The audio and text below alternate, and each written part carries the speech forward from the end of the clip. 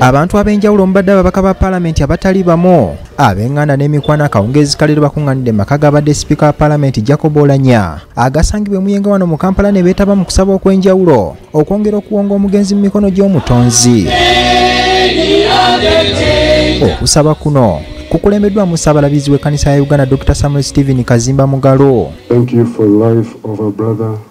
Bw'abadde abuulirira ssabalabirizi asoose na kusaasira ggwanga olw'okufiirwa sipiika olanya kyokka n'agumya bannansi nti zino ze zabadde enteekateeka za katonda bw'atyo n'asaba abantu okukola ebikolwa ebibatwala mu ggulu kubanga kuno ku nsi buli muntu aliko ng'omugenyi That is for every one of us. May I request you that God will give us the peace of mind when we lose our dear ones. Amidst mourning, amidst weeping, we should be reminded that death is for every one of us. Saabalabirizi tabadde na bigambo biwomu eri paalamenti olw'okuba nti mu kiseera kino ababaka batandise dde okukola kakuyege ow'okufuna sipiika n'adda mu bigere by'omugenzi ate ng'eggwanga likyakungubaga I think, members of parliament, you should revisit this. It's not good. We are still mourning, we are in problems.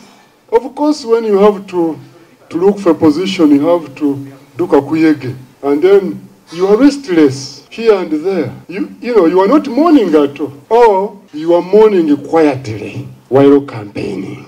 kazimba ayagala sipiika omujja asooke kutunuulira ssemateeka akolebwemu ennongoosereza ezitangira abaka okulonda sipiika ng'oyo afudde tannaba kuziikibwa mu kiseera kino akalabika ng'akabonero k'okujaganya era akalaga ekifaananyi ekibi eri eggwanga We, as religious leaders, we have been disappointed by our constitution in that section. You cannot blame anybody because we had not had this experience before. And since you have had it, it should be revisited immediately after, after the, uh, we have the new speaker. I think the, the new speaker should begin with this. Saabalabirizi era atendereza omugenzi ng'abadde n'omutima ogwagala katonda we era naawe ekyokulabirako bwe yawaayo obukadde kikumi ziyambeko mu kusasula ebbanja lya kyakyawusi era n'akunga n'ababaka abalala okukola kye kimu bw'atyo n'asaba abantu okumutwala ng'ekyokulabirako even uh, around that time, I had to, to bring 100 million to support Church House. And mobilized, mobilized